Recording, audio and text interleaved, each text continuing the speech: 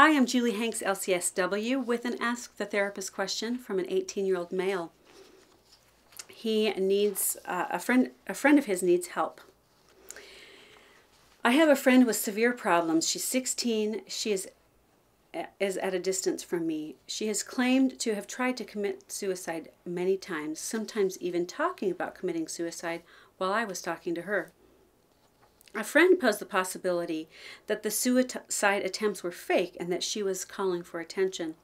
One, I want to know if it is possible for her to actually want to commit suicide while announcing it to us.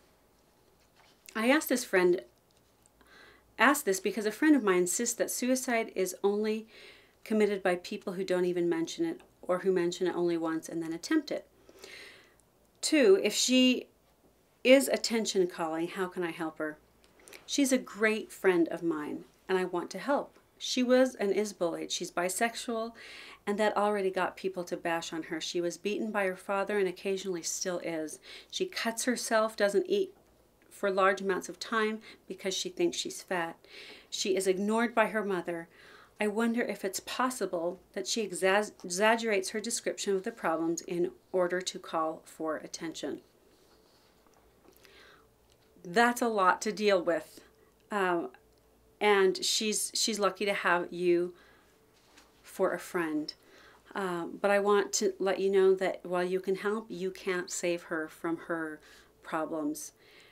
Uh, she needs to get into some intensive treatment from what you're describing. She probably needs individual therapy, family therapy, and she, I mean, she has a history of abuse, suicide attempts. Um, I'm curious, do her parents not see that there's a problem here? Are they are they willing to get help? Are they a resource for her? Um, it sounds like, you know, not sure about that. So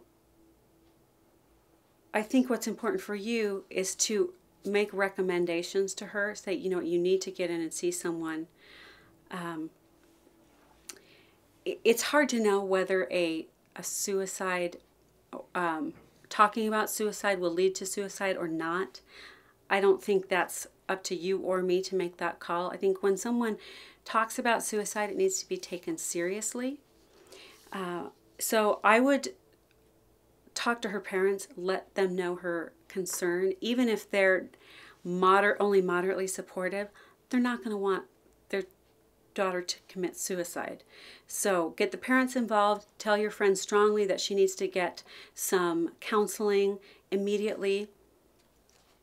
And when she threatens or talks about it, you need to set boundaries with her, saying, you know, I'm not going to talk to you about this, and I'm going to call the police because this is serious.